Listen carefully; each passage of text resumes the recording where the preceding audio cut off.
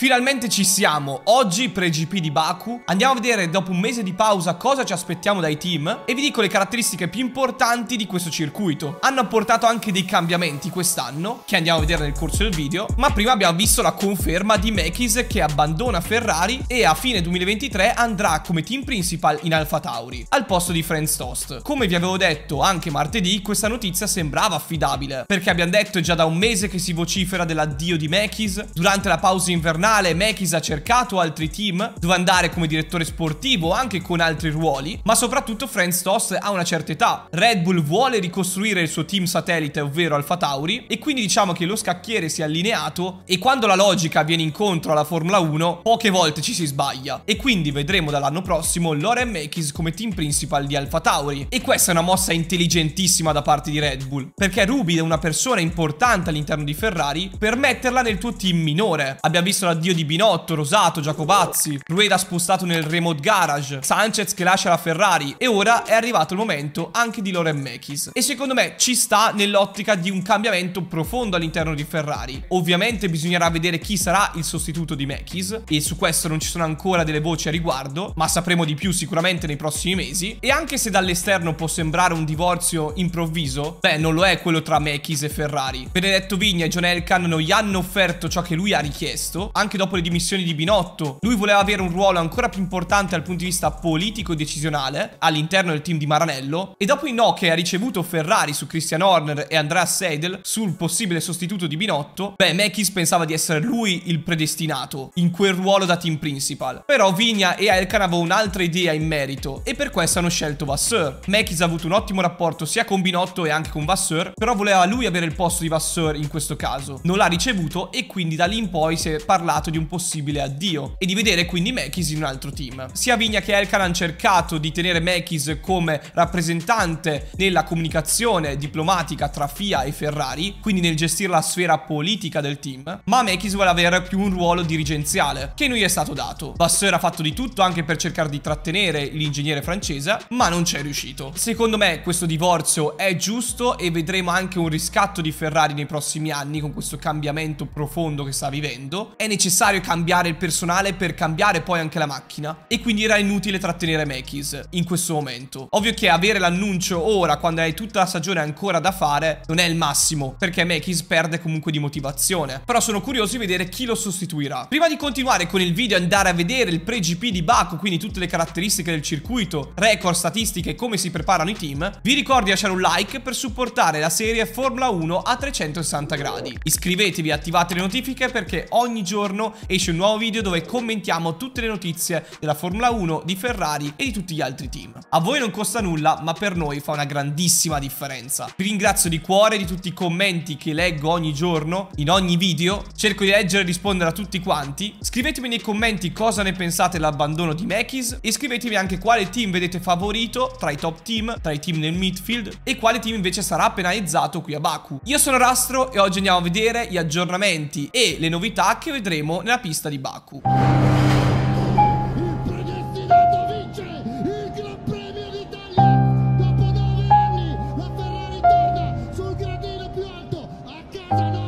Per la prima volta nella storia della Formula 1 vedremo due qualifiche nello stesso weekend. Ci sarà il parco chiuso subito dopo l'FP1, quindi si avranno a disposizione solamente 60 minuti per fare il setup. E il team che si aggiornerà di più qui a Baku sarà McLaren, che ha portato diversi aggiornamenti sulla MCL 60, soprattutto sul fondo della monoposto, che rappresentano un po' una rivoluzione del team di walking. Ma cos'è che conta effettivamente a Baku? Il punto più importante non è solo l'efficienza sul rettilineo, che tra l'altro è una zona di RS più corta corta di 100 metri quest'anno, ma è fondamentale avere un ottimo grip meccanico al posteriore, che è ciò che ha convinto soprattutto in questo inizio di stagione Red Bull e Aston Martin. L'usura delle gomme sarà un altro fattore chiave, ci ricordiamo come per esempio nel 2021 con altre gomme la macchina di Verstappen ha subito la foratura e quindi la conseguente esplosione di uno pneumatico sul rettilineo, pensate che la maggior parte del circuito si percorre sotto i 250 km h quindi per quanto si dica che è un circuito veloce, di fatto nella velocità media non lo è. Nel secondo settore ci sono 19 curve affrontate sotto i 150 km/h e 7 vengono affrontate sotto i 100 km/h. Nel 2022 abbiamo visto una F175 che spiccava per l'ottima trazione e il sabato un ottimo giro di Leclerc aveva fatto la differenza nonostante l'ala più scarica. Quest'anno Ferrari ha presentato un'ala da medio-basso carico, come la maggior parte dei team fatta eccezione di Mercedes che ha un'ala da medio carico, scelta molto strana, e Haas che ha un'ala a basso carico,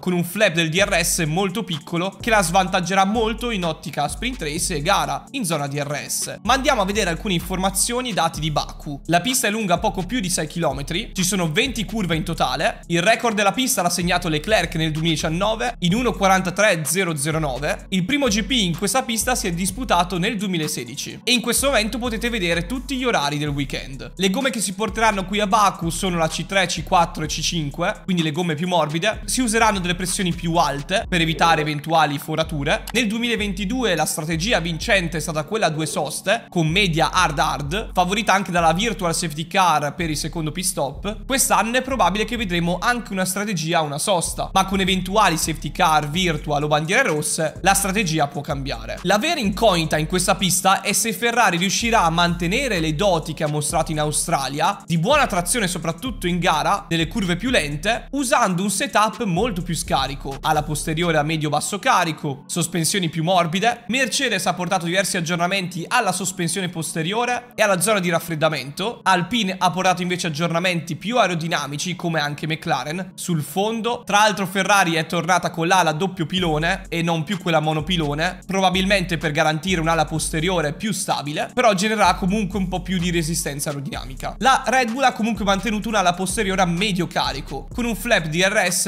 molto grande. E secondo me anche in questa pista Red Bull dominerà. L'unica incognita è un po' il cambio, essendoci tante cambiate in una pista come Baku, potrebbero avere problemi da quel punto di vista, lato trasmissione cambio, ma se non avranno problemi di questa natura, beh, nessuno può fermarli. Come seconda forza Aston Martin, Ferrari e Mercedes sono molto vicine e si contenderanno quindi il podio. Spero di sbagliarmi e spero che Ferrari mi smentisca, ma penso che la rossa potrà essere terza forza, quindi magari davanti a Mercedes, ma dietro a Aston Martin. Io ovviamente spero sempre che Ferrari riesca a fare il meglio possibile, ma avendo una visione oggettiva e vedendo le caratteristiche di questo tracciato, con una pista mista dove è importante avere grip meccanico al posteriore, poca usura, tanti bump sulla pista, insomma sono caratteristiche che non vanno a genio alla SF23. Nel midfield mi aspetto molto forte Alpine, McLaren secondo me pagherà comunque qualcosa perché avrà tanto drag, sia con l'ala posteriore più carica e anche con le modifiche al fondo. È vero che aumentano il carico aerodinamico, però sicuramente il team di Walking farà un passo in avanti rispetto alle scorse gare. Mi sono piaciute molto anche dichiarazioni Vasseur su Mekis, che dice che è un'ottima opportunità quella di andare come team principal in un team di Formula 1, e in questo caso per Loren in Alfa Tauri. Non è un dramma per Ferrari, si troveranno dei nomi nuovi per i diversi ruoli, ma stanno pensando anche a una riorganizzazione interna per colmare il ruolo di direttore sportivo di Mekis, che comunque sarà operativo fino a fine stagione. Vasseur è stato molto lucido nelle sue dichiarazioni fatte oggi, cercando di mantenere sempre